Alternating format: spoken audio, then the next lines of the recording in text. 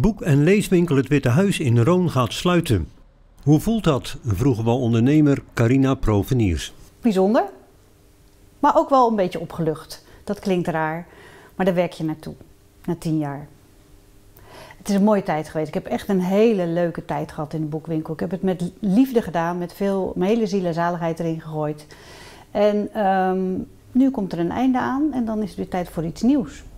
En uh, dat is niet zomaar uit de lucht komen vallen. Uh, het huurcontract loopt af, uh, daar heb je natuurlijk zakelijk mee te maken. En helaas is het zo dat ook de omzet terugloopt. En dan is een bedrijf als dit niet meer rendabel, dus dan moet je keuzes maken. Maar goed, ik ben zakelijk genoeg om te bedenken dat dat dan ook echt moet. En um, ik kijk graag terug op een hele mooie tijd. En dat is voor mij het allerbelangrijkste. Nu had je niet alleen een boekwinkel, maar je was ook een, een sociaal ontmoetingspunt eigenlijk in Roon. Ga je dat niet vreselijk missen? Vast. Echt. Ik denk dat ik in een enorm gat val even. Maar dat lossen we dan wel weer op door heel veel te lezen, denk ik. Maar uh, dat is inderdaad zo. Ja, de boekwinkel heeft die functie wel vaker in een uh, gemeenschap als dit. En ik heb dat zelf altijd heel erg leuk gevonden. Uh, na verloop van tijd ben ik inderdaad begonnen met het organiseren van exposities. En uh, de winkel leende zich daar uitermate voor. En ik heb het altijd erg leuk gevonden om met die kunstenaars uh, samen zo'n expositie samen te stellen. Uh, daardoor heb ik een heleboel leuke mensen leren kennen. werk is ook verkocht.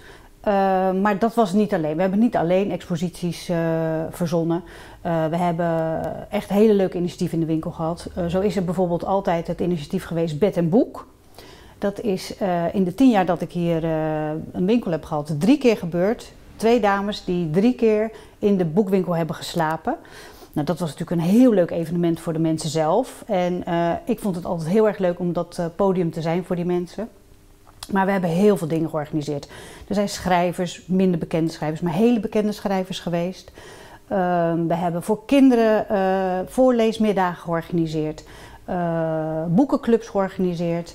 Uh, we hebben koffie en thee geschonken, waardoor ik heel veel mensen die hier langs kwamen fietsen, en het waren echt uitzonderlijke mensen vaak, soms helemaal uit Australië, die fietsen door Europa uh, hier het pontje namen aan het eind van de dijk. En hier koffie kwamen drinken en iedereen had altijd een leuk verhaal. Dus ik heb echt wel heel veel mensen ontmoet en heel veel leuke verhalen overgehouden aan de winkel. Je was ook een van de initiatiefnemers van het Lezersfestival. Samen met uh, Marleen van den Berg en Iris van Erven, mm -hmm. ja. En blijft dat doorgaan? Dat blijft zeker doorgaan.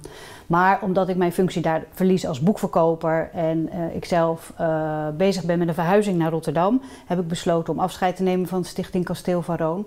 En uh, dat doe ik bewust, maar ik heb wel hele leuke tijd gehad daar. We, hebben heel veel goede auteurs naar Roon kunnen halen. En dat lezersfestival is jaar op jaar altijd een succes geweest voor de mensen hier in Roon en omgeving. Het gaat toch allemaal wat sneller dan dat je in eerste instantie had ja, gepland. Hoe dat komt klopt. dat? Uh, dat komt omdat er een, uh, nieuwe ondernemer is die, uh, net zoals ik tien jaar geleden, heel erg gecharmeerd is van het pand. En hij heeft de bedoeling om hier een winkel te openen. En hij wil heel graag snel mogelijk starten. toen heb ik gezegd van nou dat vind ik een heel goed idee. Dan geef ik jou de ruimte en dan stop ik er net even ietsje eerder mee dan ik had gedacht. En dat komt heel goed uit. Hij gaat uh, in mei uh, de winkel overnemen en dan gaat hij hier verbouwen en dan gaat hij hier een gezondheidswinkel openen. En uh, dat wordt een winkel met veel verse biologische producten, met voedingssupplementen. En hij is heel erg enthousiast en ik denk ook wel dat het dan weer heel leuk is, omdat de cirkel dan rond is, zeg ik dan altijd maar. na de Tweede Wereldoorlog is deze winkel geschikt gemaakt als kruidenierswinkel. Dus het is een aantal jaren kruidenierswinkel geweest voordat het boekwinkel werd. En ik ben bang dat ik echt de laatste boekhandelaar ben in dit pandje. En um, dat heeft zo moeten zijn. Maar ja, dat er nu weer een nieuwe soort kruidenier komt, vind ik wel weer heel erg leuk. Nu ga je nog een week uh, uitverkoop houden. Wanneer ja. begint dat? Zaterdag uh, begint de uitverkoop, 30 maart. Dat is de laatste zaterdag van de Boekenweek. De Boekenweek uh, in Roon staat in het teken van de uitverkoop, van de opruiming. Um, en dan verkopen we uit. Daar doen we een hele week over. En dan is uh, 6 april de laatste verkoopdag. En daar organiseren we nog een leuke activiteit voor, maar dat is nog geheim. Dus dat hou ik nog even te goed. Dat moet iedereen maar bekijken op Facebook of in de regionale krantenschakel. Maar de uitverkoop duurt in ieder geval een hele week. Heb je al een beeld wat je hierna gaat doen? lezen. Ik ga lezen. Al die boeken die ik nu nog niet heb gelezen de afgelopen periode, omdat het zo druk was, uh, ga ik dan uh, lezen.